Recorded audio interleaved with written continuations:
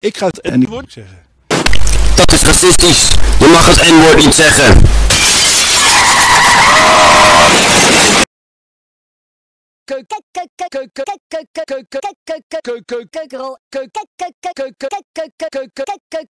zeggen.